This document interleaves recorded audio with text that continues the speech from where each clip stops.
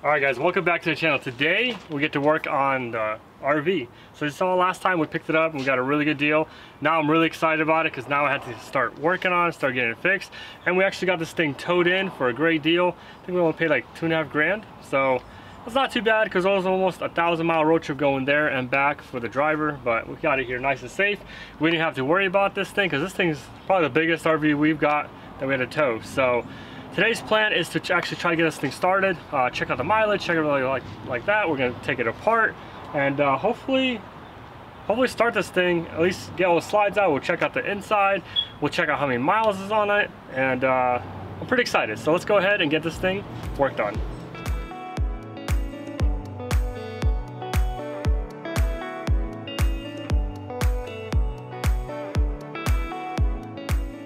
Right, so I took off the little cover and let's start checking out damage. So this front end seems like it's almost gonna come off. This side's definitely all broken through and then we'll come this side. So this is looks like it's a one piece. So we might have to just cut it here for now to drop this front end instead of going all the way up there because we got a fiberglass anyways. So I might as well grind a cut here. We'll unscrew all these bolts and hopefully this front end will come off and we can inspect the whole damage beneath it.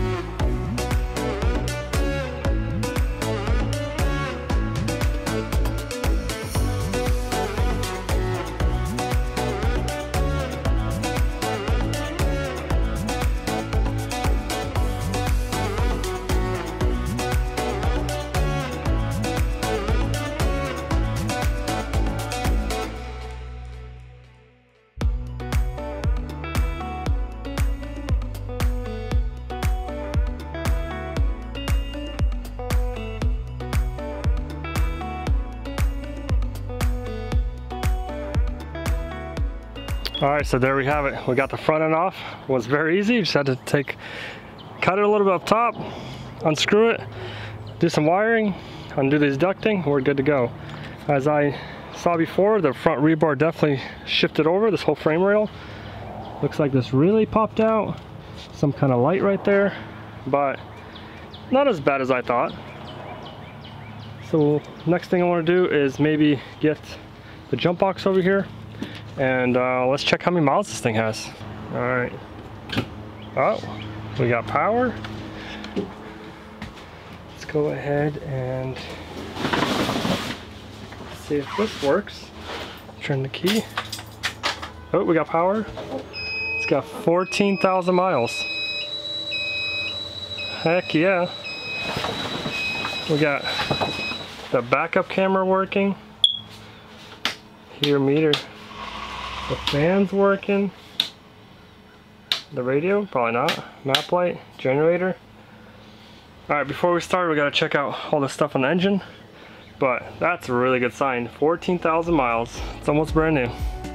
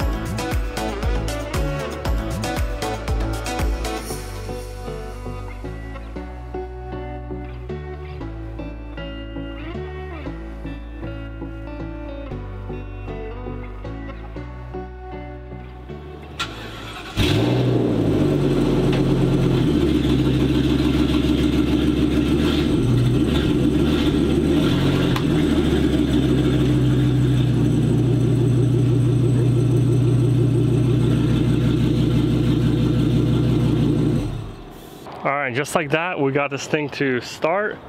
I hooked up the drive shaft in the back and actually drives forward and back. So we're pretty much ready for this thing to put, put on the frame machine. So we can pull out the frame rails, the front horns. You can see right there is a little bit of, it's bent. So this whole front end needs to be shifted over. It should have been straight like this, but it's over to the side. So it shouldn't be that hard.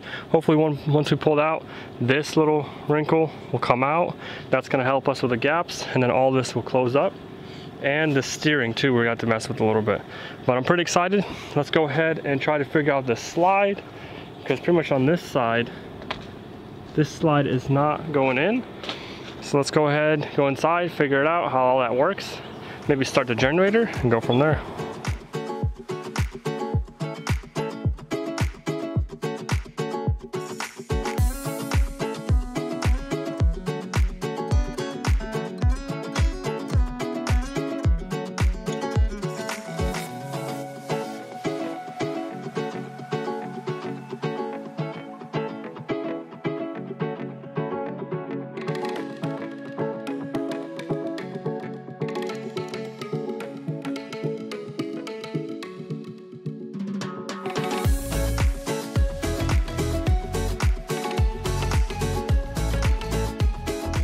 All right, so I guess once we got power to the front and power back here, they slid out perfectly fine. So let's go inside, I'll show you what I did. We can finally check out the interior. So we got this slide finally to slide out all the way. And look at all this room. Definitely a lot of room all the way. We still gotta clean up in here, not a big deal. But then we come back here. Before, the bunk beds were like right here. You could barely open the door. But look at all this room. We got a lot of room. That all slid out completely fine. We got the little control panels here. Still working. Got some controls. All of this is looking good and empty, which is a good sign. We also started the generator. The generator's working, the AC units are working. Then we come back here to the master. So before the bed was all the way to the drawers. And look how much room once this slides out, opens up definitely a lot of room. And now we can finally open the bathroom door. Before we couldn't because of the bed. It looks like the bathroom toilet fell over. And then it's got another shower here, pretty cool. It's got more storage. So this camper definitely has a lot of storage. Here's the control panel. Everything is looking good. And inside this bathroom, so Bathroom just needs a good cleaning. Needs this to be put back on. So a lot of progress. I'm really excited. A lot of things are working, but we still got a lot of damage to fix. So we got to, next thing we want to do is pretty much work on the frame. We're gonna slide all of this back together and hopefully try to get this thing on the frame rack. So let's see how that turns out. All right guys, just like that, we got this thing to run and drive. We got to check out the interior. I'm pretty excited. Everything was pretty much working except the fridge. Probably to just figure out how to turn that thing on, but the generator works. It drives forward and back. The drive shaft's hooked up. It's got brakes. Right now it's got no cooling system. All the cooling system is broken, but we can order that. So the next step is gonna be have to be put it on the frame machine itself, and we're gonna try to pull the frame rails over, and once we do that, the rest of it should be easy. So we think. But anyways, thanks for you know staying tuned, you guys. Leave us a comment down below what you guys think of the progress so far. I'm really excited because I gotta get this thing done. We have already have a trip planned in a month and a half, so we gotta knock this thing out. We ordered the glass. The glass is coming. The fiberglass, we found some parts, but I think we're gonna fix it because the pricing's kind of high. So unless we find a parts one, but we never know. But anyways, we'll catch you guys next time.